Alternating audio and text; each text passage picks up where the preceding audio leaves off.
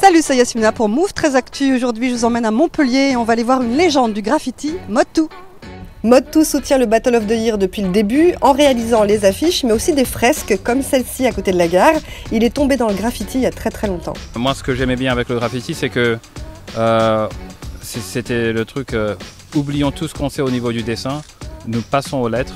Tous ceux qui ont fait ABCD se retrouvent avec euh, la même, la même chance de pouvoir euh, s'exprimer avec des formes, euh, du rythme, du dynamisme, l'harmonie, et en grossissant leurs lettres, peuvent commencer à s'exprimer avec des couleurs, des choix de couleurs, comment les disposer à l'intérieur des lettres, tout, tout ça. À l'école, quand on disait ouais mais lui il sait dess- dessiner et toi non, ou elle elle sait dessiner mais toi non, Euh, c'était assez euh, tranché comme comme ça euh, que le figuratif passe avant tout. Les lettres aussi ça m'intéressait même quand je dessinais du figuratif quoi. Donc les, les, les logos sur les sur les marques, les choses comme comme comme, comme ça quoi. Ouais, ok, il y a les lettres, mais chez toi, il y a surtout le mouvement.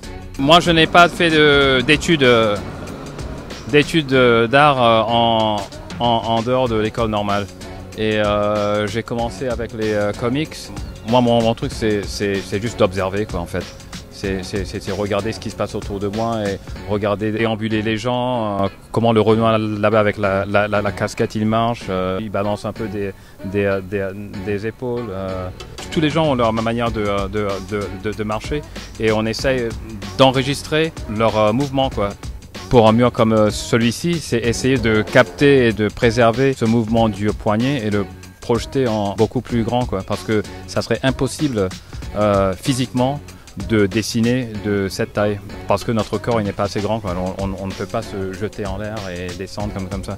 Quand nous nous voyons des tags ou des throw-up dans, dans, la rue, les trucs que les gens n'aiment pas, le truc de vandalisme, tout ça, euh, ou même les lettres là-haut sur, sur le toit, peut-être moins les, trucs remplis, finis, mais, les écritures peut-être là- là-bas par exemple.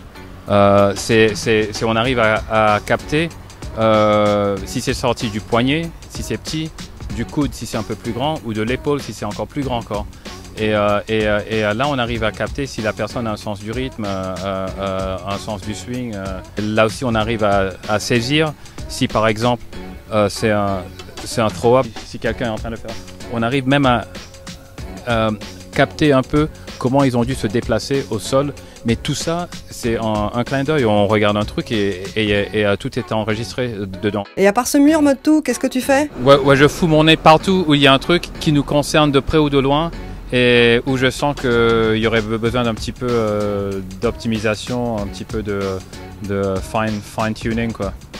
Euh, comme disait euh, Cool Keith, you hear static, we'll use a fine tune knob hein, to tune me in better. Non, ça peut pas non? 88. Ultramagnetic M6. Bref. Sur ce, euh, merci Yasmina. Hein? Merci.